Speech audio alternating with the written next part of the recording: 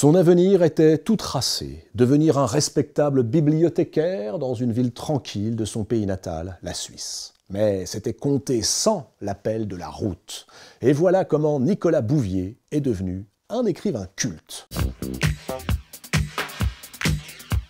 L'usage du monde de Nicolas Bouvier est le chef-d'œuvre de la littérature de voyage. Et ce livre possède un étrange pouvoir. Il précipite quiconque le lit directement sur la route. Il raconte, ce livre magique, le périple de deux amis d'enfance dans les années 1950, en pleine guerre froide, de la Suisse jusqu'à l'Afghanistan, à bord d'une minuscule Fiat Topolino, dans le coffre de laquelle on trouve une Remington, un accordéon et un enregistreur.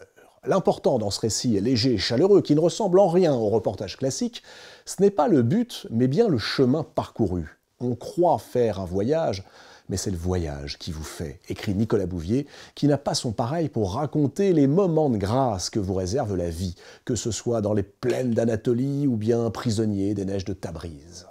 Nicolas Bouvier présente le voyage ainsi. On ne voyage pas pour se garnir d'exotisme et d'anecdotes comme un sapin de Noël, mais pour que la route vous plume, vous rince, vous essore.